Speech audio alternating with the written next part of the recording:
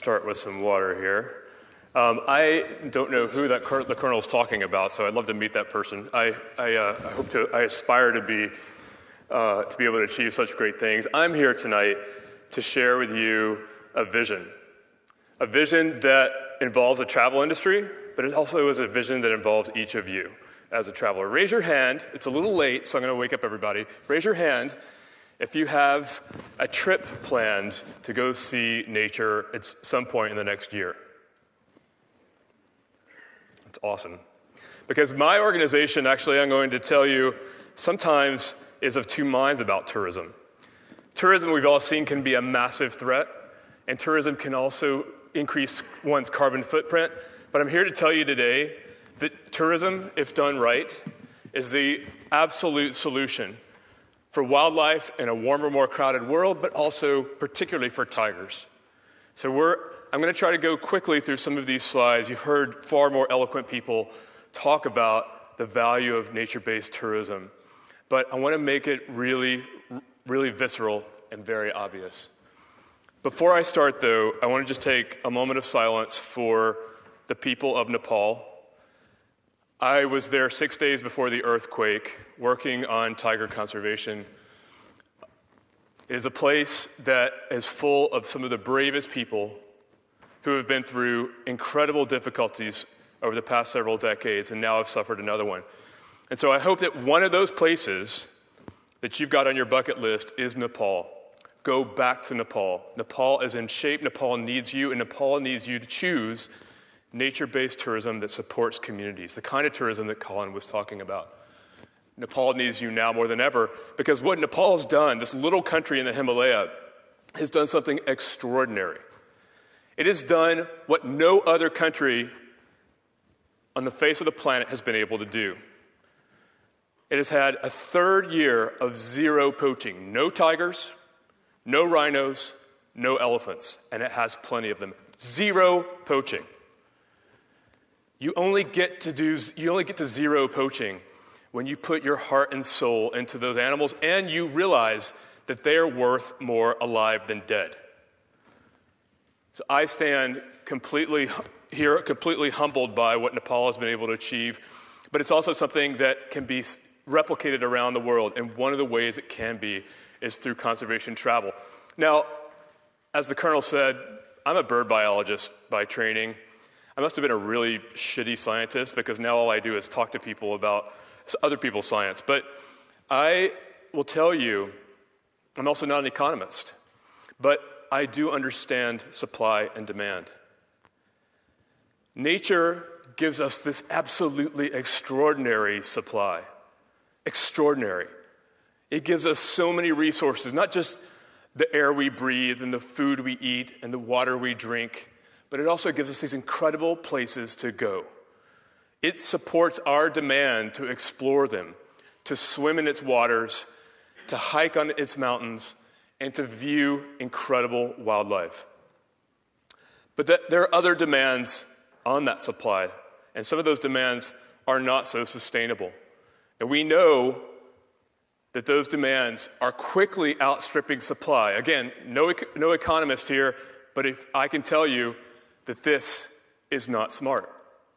Now, we all know that. We hear that all the time. The conservationist crying wolf the environmentalists running around screaming about how the world's going to hell in a handbasket.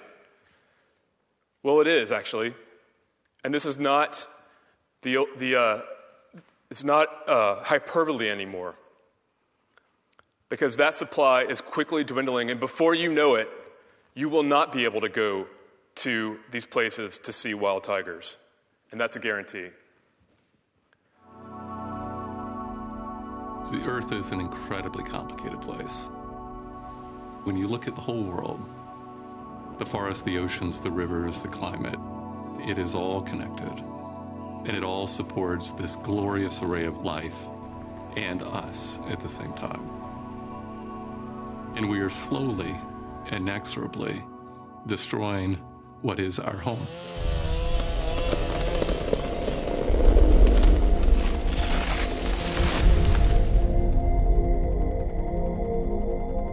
And if we don't take care, The only nature we're going to know in this world, we're going to visit like museums.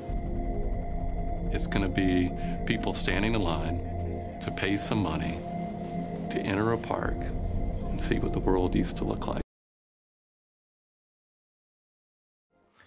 Now, I'm not crying wolf, and I am a scientist by training, so all of this kind of information, these bad news stories you hear a lot of, they are based on the facts. The World Wildlife Fund, with partners, produces every year, or excuse me, every two years, a report called the Living Planet Report. And what that report is designed to do is actually take the very best science from around the world and put it into terms that we can all understand. So, this is a graph. If you think about what the Earth can sustain, is this green line. There's one Earth that can sustain, when you look at the use, the resource use that we have today, which is this red line, you'll see our resource use has outstripped what the Earth can replenish. So, really, put even in more simple terms, because I have a very simple mind, we're using one and a half Earths. Now, raise your hand if you think that's smart. And it gets a little bit worse. And I'm, I'm saying this because I want you as a traveler, I want you as an as a environmentalist, and you as a travel company to realize that, that we are at the 11th hour and it's time for us all to get involved. Because today, since the year I was born in 1970, we've lost more than half of wildlife. More than half. Obviously, that situation is much worse in certain places where we've lost all of a species. But we've lost more than half of wildlife on this planet since the year I was born. That's personal. And today, the reason is because wildlife is simply not worth more alive than dead. Colin talked to you about the, the, the price per kilo of rhino horn. That's pretty tough to compete with. Wildlife is not worth more alive than dead. But I'm here to tell you that there, are, there is hope, and tourism and travel is a way to transform that. Tourism and travel is one of the very, very few ways that we turn wildlife into something of value, where we elevate wildlife's worth. Now, you've heard of that happening in places like Quito, Ecuador, where people are paying to protect the watershed that provides the water for that city. The same things happen in New York City. The Adirondack Park was established to protect the watershed of New York City. So there was value in keeping that forest intact. But there are very few ways to protect wildlife except, and make it worth more alive than dead than travel. And so that is why I'm here to tell you right now ecotourism is dead. Ecotourism is dead. The ecotourism that we have pushed out there for so long has now become such a watered down term, expecting that somebody else, some NGO or some government, is going to keep the resource there. It's become a watered down term. And it is now being replaced. And it's going to be replaced because it has to be replaced by conservation travel. And that's what Colin and Jules have been talking to you about tonight. Conservation travel. It's sustainable travel, so responsible travel. But it's sustainable travel that that connects the traveler, that person, their, when they're at their most vulnerable, most inspirable, connects them with nature and directly supports its protection. Does not assume that somebody else is going to take care of it while the companies or, uh, prosper, prosper and the travelers benefit. It gets engaged itself. And there are three ways that that happens. Again, I have a very simple, small mind, so I have to have alliterations. There are three ways to remember that, and they're the three eyes. And I want you as a travel operator to take these three eyes home, and I want you as a traveler to ask the company you're going to travel with, what are you doing to incentivize conservation, to influence the people who are going to make decisions about the future of nature, whether they're a government or a local community, and what are you doing to invest in that resource, keeping it there for the long haul? Three eyes. We're going to talk about those and I'm going to take just a slightly deeper dive around incentivize because that is really what matters. We're trying to encourage the people who are making these decisions, often local communities who have to live with wildlife, that that wildlife is worth more alive than dead. So, Colin talked to you about this, this country, which I know you, you all can pronounce it, but being from America, most people don't even know how to pronounce it, Namibia. And people couldn't even tell you where it is. Today, it's actually now one of the top 10 destinations worldwide, whether you look at the Guardian's ranking or the New York Times ranking. Why? Because it is the greatest wildlife recovery story ever told, and that's because, in large part, because of people like Colin and Wilderness Safaris, because of brave Namibians who saw that they could benefit from their wildlife instead of destroying it. And I'm going to shut up because you don't want to hear some guy from the States, some Yank, talking about all, these, all this environmental stuff. I want you to hear from a goat herder, someone who I've gotten to know quite well.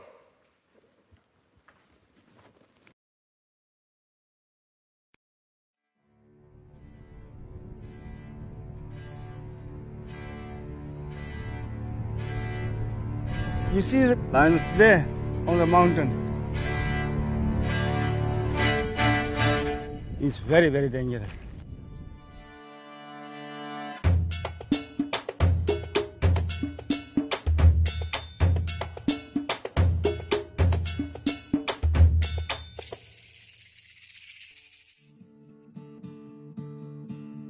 We have a big group of people here sisters, brothers, we are one family. I love my place. I have a lot of livestock. It's a lot of work. You must take him out, care for him, and bring him back. Put him in the kraal in the night, I have cows who was lost by lions. There was two of them. They come to the house, take the cow, and it's gone. My mother was scared. She's telling me, oh, a new problem. The lions are going anywhere and you cannot see him. You cannot know where it is. And then I decide the best thing is I will kill those lions.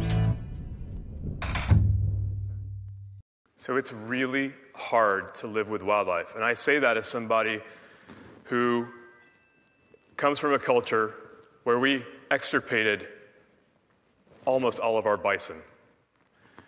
It's really hard to live with wildlife when the wolves have all almost disappeared in Europe. But we also know it can come back, and Namibia shows us how how you recover wildlife. It's an incredible success story, and tourism has driven it. But it was not always a rosy story. Colin was told you about how it's changed and shifted. It, it came from a very, very dark place, a dark place where apartheid was rampant as a policy, where wildlife were killed during decades of civil war, where wildlife was, was not worth more alive than dead to local communities because they got no benefit from it. These were people who were moved from one place to some of the most deserted areas in southern Africa and left to fend for themselves. So, after 23 years of civil war, a new country emerged, Namibia.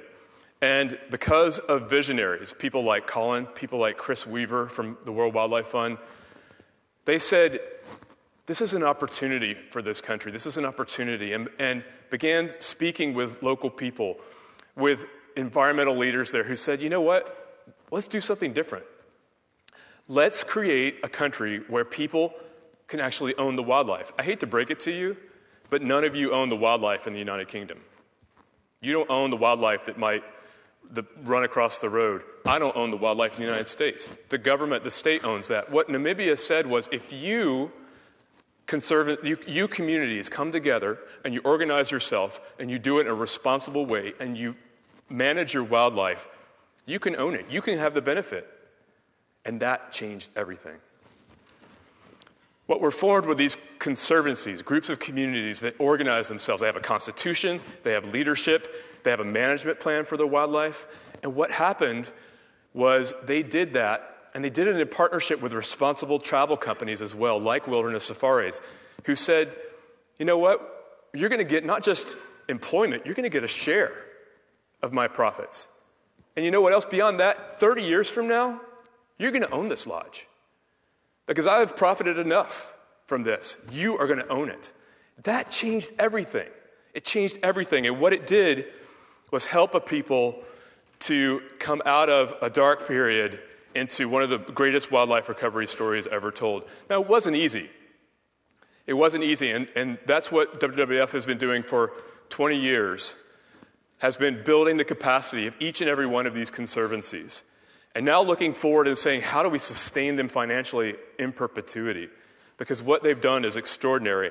But it wasn't easy, particularly when you work with some local people where you need to count wildlife, you need to understand the ecology of these species to know how they're going to reproduce. But the way that you've counted historically in your culture is one, two, three, four, five, another five, and many fives. So, how do you translate complex ecology into something that, that these local community members can work with and manage their wildlife? We did it and it's worked, and it's extraordinary. 44% of Namibia is now conserved. United States, 12%. That's all we got. 12%. That's including protect, protected areas and private lands. This is 44% of Namibia is conserved through national parks and through these conservancies. One of the things, this is a similar map to what Colin showed you. One of the things I want you to notice is that, if I can get the laser here, the pink here, or this, this sort of reddish color, are the national parks. Etosha National Park is pretty famous, Skeleton Coast, what these conservancies do, these conservancies in yellow, and they're spreading. In fact, I've got the, a map on here that says 79 conservancies in Namibia. It's now 83. It changes almost every quarter because more and more people want to benefit from their wildlife. What it's doing is connecting those parks. Because one of the things that we forgot when we started trying to conserve wildlife was that wildlife needs the freedom to roam. And otherwise, it's, it's ultimately going to decline. Conservancies are doing that, and they're doing it in an extraordinary way. And why are they doing that? Because now, because of both trophy hunting and tourism, have made placed a value on healthy populations of species. They've made wildlife worth more alive than dead. Wilderness safaris and Colin's vision made wildlife worth more alive than dead to those communities. So now, if you add any new species or restore a species onto your conservancy, it's worth $2,100 per year. $2,100 to a community, as Colin said, that some of these people have never had a job. They were subsistence farmers. If you've got the big five, it's $22,000, er, excuse me, $22,000 per year. But then if you add in black rhino, it's $111,000 of income on average that comes into your community. Now we're starting to compete. Now we're starting to compete with the illegal trade in rhino horn. All because of tourism, and because, not just because of Colin and the brave people of Namibia and positive, forward looking priorities, but because travelers like you also said, I want to do a trip that goes to see this wildlife in a way that benefits the communities as well. These numbers say it all. And so, what's happening now is some of that income's coming from one conservancy selling off wildlife to another conservancy. So they're doing these, tra- these this um, relocation of antelope and rhinos everywhere. Now, lions, you heard about the plight of lions, and Namibia was no different. There were only 20 lions in 1995. Today, there's over 150. Namibia is the only country in Africa where lion, the lion population is on the increase.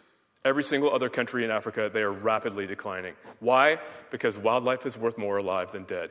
You can put up with a lion eating one of your goats because people are paying to come see that lion. Same with mountain zebra. There were less than a 1,000. Now there are 27,000. Black rhino was almost extinct, and as you know, it's been taking it on the chin across all of Africa.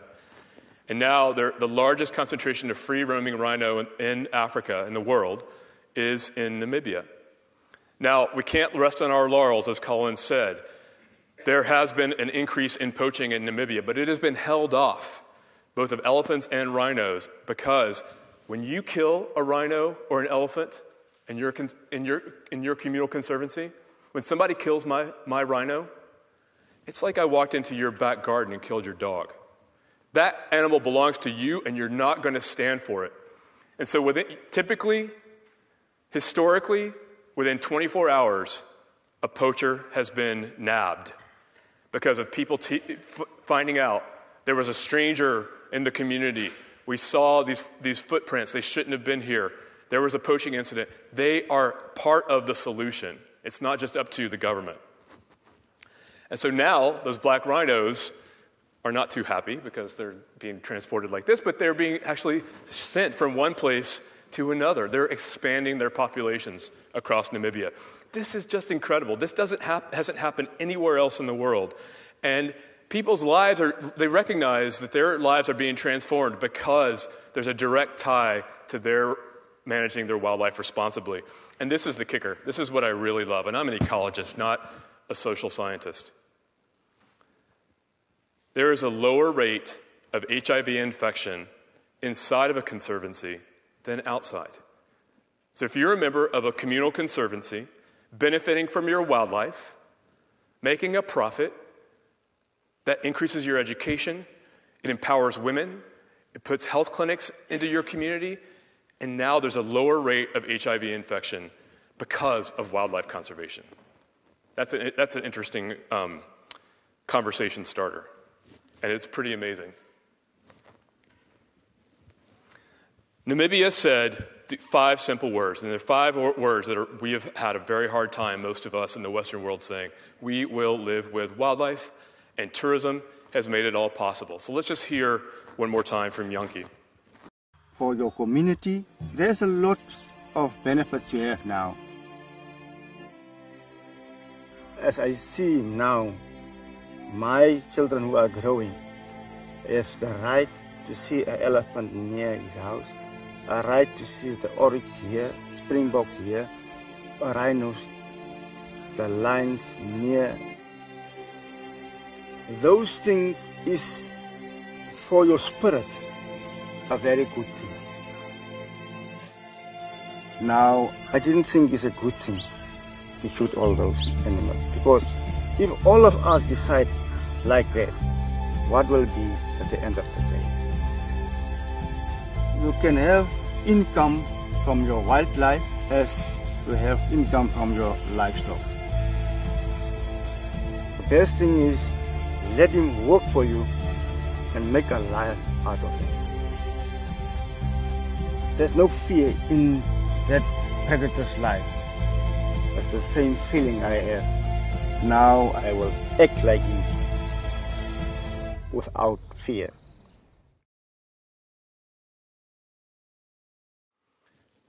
So, that is a story that can be replicated worldwide if we demand conservation travel.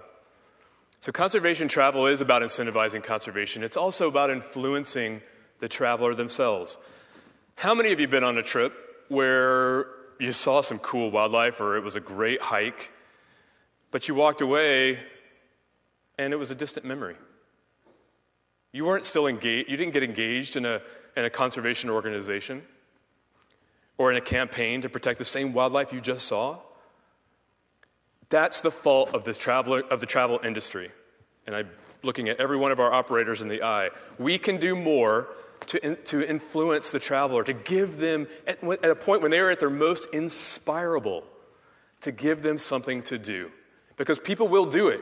We are just leaving that opportunity, we're making it a missed opportunity. And so, one way to do that Natural Habitat Adventures, as a partner of WWF, does this in spades.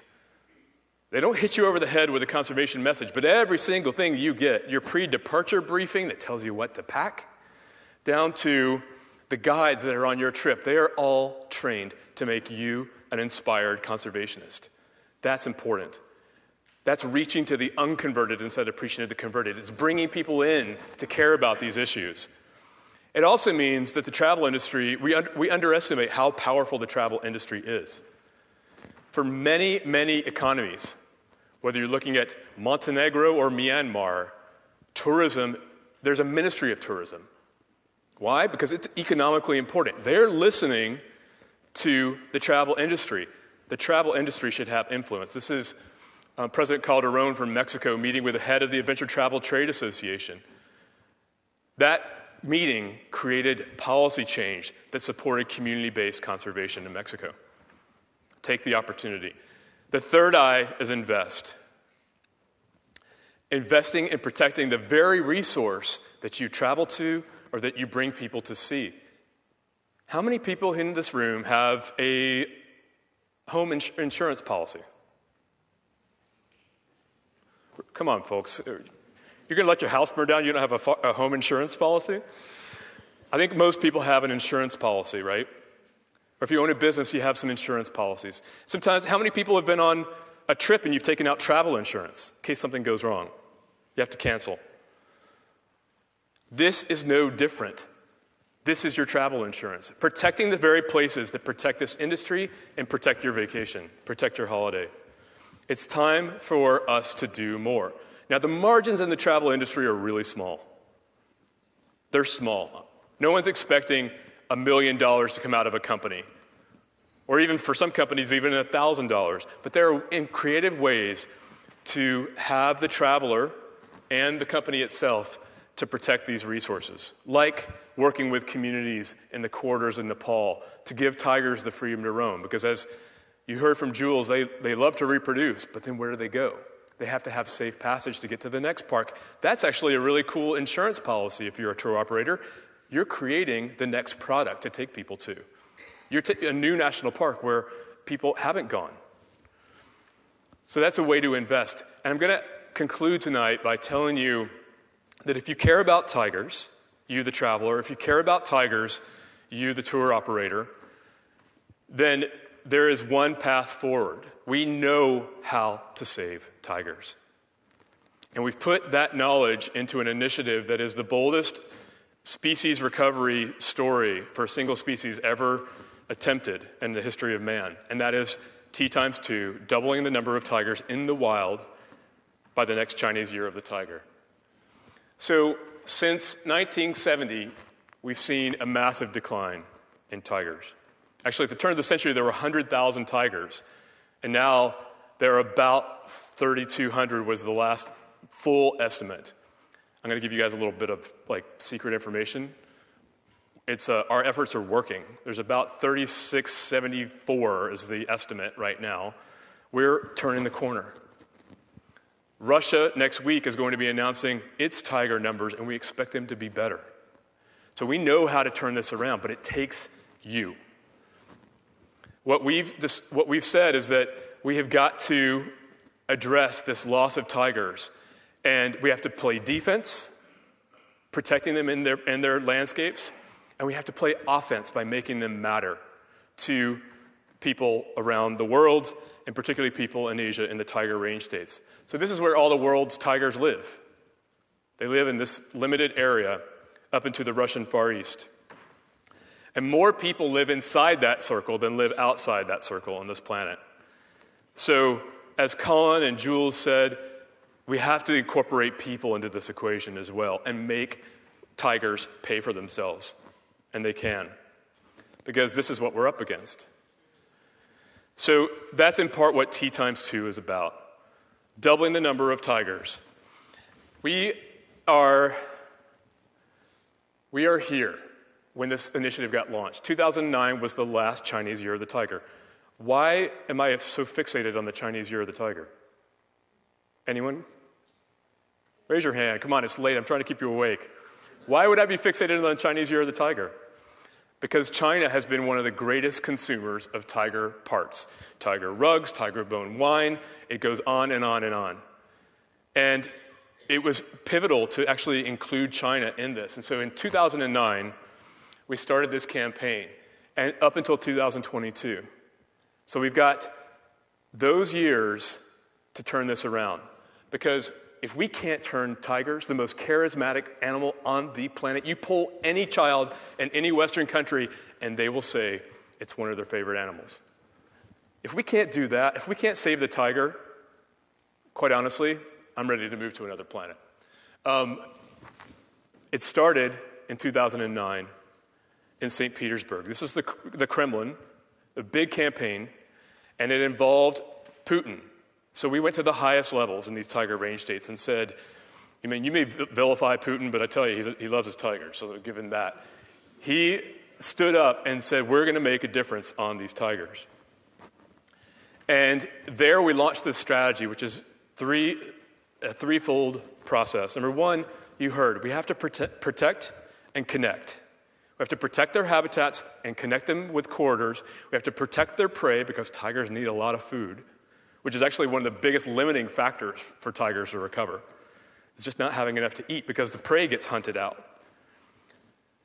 So we've got to protect and connect them. We've got to terminate this trade. And we're getting we're making progress on that. But you can still go into markets at the border of, of Myanmar and China. Walk in right now, and there's there's a tiger carcass sitting inside of a big aquarium, and you just drain off your tiger bone wine. And, there, and it's very well documented. It's just that there's not enough pressure to, to close down these, these conduits where the, the flood of tiger parts are moving through to China. But third, and one thing that makes this very different than the typical campaign, is that we're looking at how to make this permanent. We're making 60, 6,000, 6,400 tigers the next new baseline, the new normal. Now, how do you do that without continuing to go to you and ask you for more money. That's what environmentalists do all the time. Because the problems never seem to end and we never seem to close a deal. We never seem to, to, end, to end it. But what we're doing is looking at building the political will, the sustainable financing, the public support, and making sure that that, is, that, that new number is permanent. So we've also identified the key landscapes. Now, tigers occur in more places than this, but these are the places where you get the highest return on investment. I'll show you another map in a second that's updated, but these are the places where you can more, most readily double the number of tigers and go well beyond that. A large part of it also means getting to the zero poaching that I talked to you about with looking at Nepal. We know how to do it. Nepal has now invited all the tiger range states. they they were there in February and started learning from little old Nepal. Nepal was teaching all of these governments how to get to zero poaching. And we're making great progress. We've got to break the chain, uh, these trade chains that are, or otherwise we will always be playing defense. And finally, we have to get to permanence. We have to make this matter. We've ha- engaged Leo DiCaprio as a key champion of this T times 2 campaign, putting political pressure in places where there's, we're really weak like in, in Malaysia, putting, directly putting political pressure on these people, shining a light on what they're doing or not doing to save tigers. That creates this political will and starts to change policies, even sustainable funding from a government so that we're not always paying, you know, asking for another dollar with our hands out. And making tigers matter. Making it matter to local people, as we said, through tourism, through those benefits, but also making them matter to a country as part of your identity and your pride. And so now I'm happy to say that since 2009, since we started tracking how tigers are doing, we're either stable or increasing their populations in, these, in nine of the 13 key landscapes. Some of those other landscapes are places where we're going to restore tigers. We're bringing tigers back into Cambodia, where they've been extirpated. Part of that, part of the wait to get there is to get the prey populations back up, but they're going to be back in Cambodia in the next five to seven years. We're bringing them back to Kazakhstan. Do you know that tigers were once in Kazakhstan? Putin is all over this. He's supporting this as, with, with his neighboring country, and we're going to bring tigers back to Kazakhstan. So we've got some bold initiatives, but we've also got securing the core of these key landscapes. There are some laggards, and we've got a lot of work to do. Indonesia where there are several key tiger landscapes, those tigers are in deep trouble. I, I could talk to you afterwards about why, but they're in deep trouble. Same with Malaysia. Malaysia has actually got quite a bit of money to put into conservation, but there are a number of political challenges, and quite frankly, not the political pressure that needs to happen enough to turn this around. So we've got more work to do. But we, and we can't wait until 2022. You can't wake up in 2021 and say, oh, God, we got that goal coming up next year. We better double down and raise some money. Tigers need time to recover. And so we've got to push hard, and we need to push now. And it's going to take all of us. WWF cannot do it, not alone. These governments cannot do it, not alone. It's going to take you, it's going to take the tourism industry, it's going to take the traveler, and that is the only way we're going to make tigers worth more alive than dead. And so, partly what I ask of you tonight is to think about your business or your consumer demand to be, tar- to be investing in T times two. Help us double the number of tigers in the wild. We've got the plan, we need to put the resources into it, and we need to make your voice heard.